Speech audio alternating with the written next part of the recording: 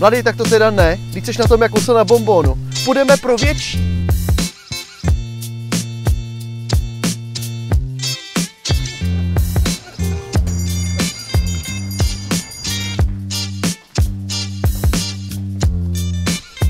Dobrý den, jak vám mohu pomoci? Dobrý den. Tady mladýmu je malý kolo a potřebovali bychom poradit.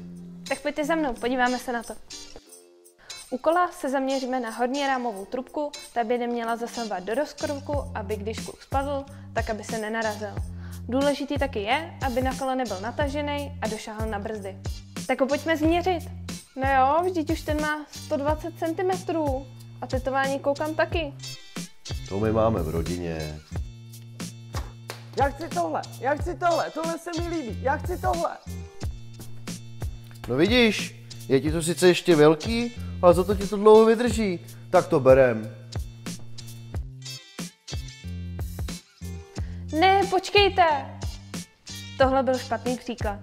Zkuste se našima radama řídit, protože když bude mít dítě správné kolo, určitě ho to bude víc bavit a taky se mu lépe pojede. Tak u dalšího dílu. Ahoj!